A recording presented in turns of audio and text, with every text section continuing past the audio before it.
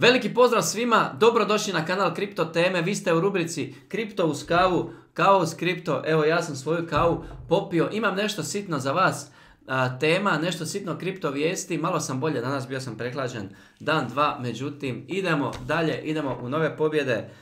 Timon Ursih, znači to je demokratski kandidat za senat u Kaliforniji, čovjek je mrtav hladan izjavio da ako njega izaberu, ako on bude taj da će Dogecoin legalizirati u toj zemlji i da će Dogecoin biti taj. Ovo je pomalo nevjerojatno, očekivali smo možda Bitcoin, očekivali smo neke druge, međutim čovjek je veliki Dogecoin fan, fan čak sad preko društvenih mreža malo tamo tagira Elon Muska da ga podrži u ovoj kampanji. Mislim da od ovog neće biti ništa, ali da je odabrao dobru marketinšku E, metodu u kojoj puca na tu e, mlađu glasačku e, populaciju, tako da on je odlučio ići u tom pravcu. Ostaćemo na, još malo na, na Dogecoinu, inače Dogecoin je prestigao Polkadot po Coin Market Capu, jako zanimljiva stvar koja se dogodila jučer kad pogledamo, znači Dogecoin je opet, opet je u top 10, međutim ova cijena od 0,08 Jao, jao, jao, mnogi su,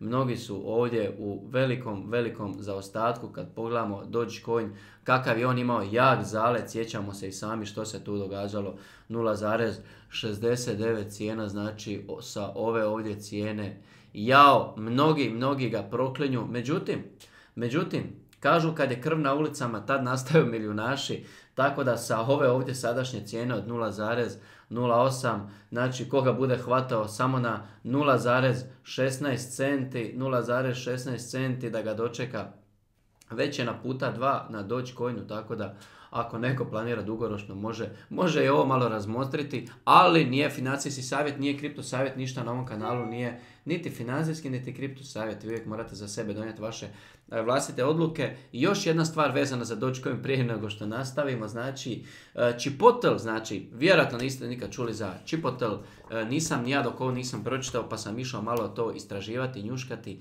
Nevjerojatno, 2975 restorana u svijetu imaju. Ne jedan, dva, tri ili pet. 2975 restorana i objavljeno je prije koji dan da je od sad moguće kod njih plaćati i sa Dogecoinom. Wow. Wow, wow, wow. Tako da treba ovo malo ispratiti. Idemo dalje.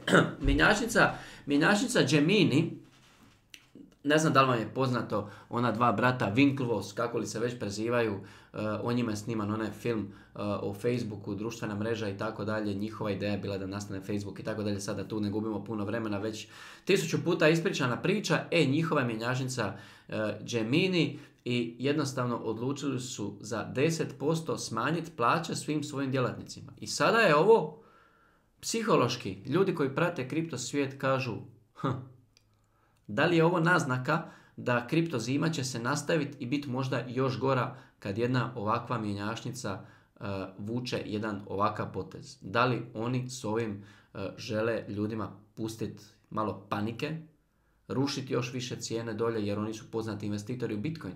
Da li žele oni stvoriti sa ovakvim potezom paniku jer kao šalju ljudima signal zaista dolazi još veća kripto zima, bit će cijene će ići još dolje, prodajete dok možete i tako dalje, da bi se oni možda po još povoljnijoj cijeni dokopali Bitcoina ili je zaista ovo, ili zaista ima uporište ta njihova poslovna odluka. Uglavnom, idemo dalje. Algorand, pazite jedan jako zanimljiv podatak vezano za Algorand. U 7 dana imali su 8,5 miliona transakcija, 1,2 miliona transakcija po danu. Idem baš pogledat Idem baš pogledat sekundu, uh, Algorand, nešto me ovdje zanima. Za vas koji ne znate, uh, Algorand, Algorand, evo ga ovdje. Za vas koji ne znate, uh, Algorand je, ovo je 24 sati, idemo pogledati to, totalno stanje. Ovako, Algorand je trenutno na 0,37 centi, bili su na 2, 35, 2,36. Svjetsko prvenstvo ove godine zbog velikih vrućina se igra malo kasnije, tako da ljeto je pred vratima, niko ne priča o svjetskom, ne brinite, ove godine se zaista igra svjetsko prvenstvo. Algorand je službeni i glavni sponzor FIFA na tom svjetskom prvenstvu i svakako će o ovom projektu se još jako puno pričati u sljedećih par mjeseci. On je sad na 0,37 Znači njemu treba koliko 0, 70 i nešto, evo on bi ovdje negdje trebao doći, da bi vi mogli uhvatiti puta dva. Isto jako zanimljiv projekt, pogotovo kad se stavi ta FIFA, kad se u prizmu stavi ta FIFA, taj ugovor koji imaju, imaju s njima, o ovome će se svakako još, svakako još govoriti ove godine, jako, jako zanimljiva stvar i inače nije samo uh, FIFA uh, partner, nego i Universal Music Group ove godine, tako da svakako veselo. Što ima iz Kenije? Kenija Zemlja, kad neko kaže Kenija, meni je odmah prva misao, oni trkači što trče maratone, uh, one samo Kenici to trče 5 dana bez stajanja, ali najveći proizvođač struje u Keniji je objavio da će Bitcoin minerima omogućiti da se spoje na njihovu struju i da će im dati povoljnu struju. Tako da svaka čast tamo. E, prije sam rekao da je Gemini odlučio 10% smanjiti plaće svojim zaposlenicima, međutim iz Coinbase-a dolazi najava da će zaustaviti nova zapošljavanja. Mislim da se sjećate, prije par mjeseci smo imali vijest da Coinbase zapošljava nekoliko stotina ljudi novih. Evo sad su objavili da će zaustaviti zapošljavanja. I vraćamo se na ono od prije.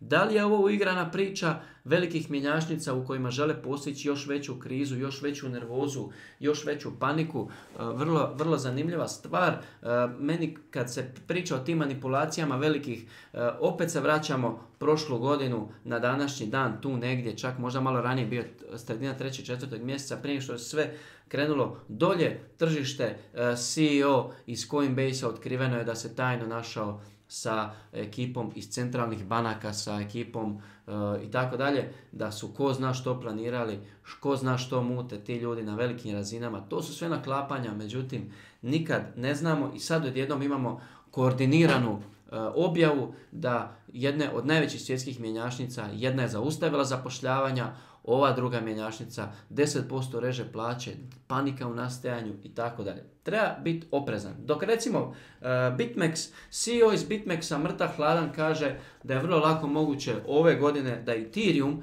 ide na 10.000 dolara. Ethereum na 10.000 dolara, e to bi bilo jako zanimljivo vidjeti. Idem baciti oko samo sekundu na Ethereum. Ethereum trenutno stanje 1764 dolara. Ja sam nešto sitno stavio u Ethereum.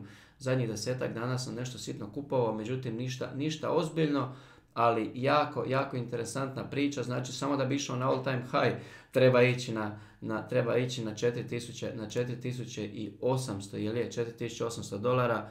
Tako ne znam koliko je realno očekivati da bi Ethereum mogao ići ove godine na 10.000, međutim svakako, eto počeo sam nešto sitno ja stavljati u Ethereum, možda je ovo to dno, možda ipak neće ići dalje od ovoga, kažemo svako treba, svako treba donijeti odluke za sebe, ne mogu ja, ne mogu ja vama govoriti gdje je dno, to morate vi. Ulaganje u Bitcoin danas jako, jako zanimljiva rečenica i mislim da Kogod je ovo rekao, ja mu se klanjam jer mislim da je 100% u pravu. Ulaganje u Bitcoin danas je kao da ste kupovali nekretnine na Manhattanu 1990. godine. I ja mislim da je tako. A vi za kraj pogledajte kako ja ulažem 100 dolara i zašto mislim da ću ovdje ostvariti 300% profit step by step ako želite, probajte, testirajte. Ako ne želite, nemojte.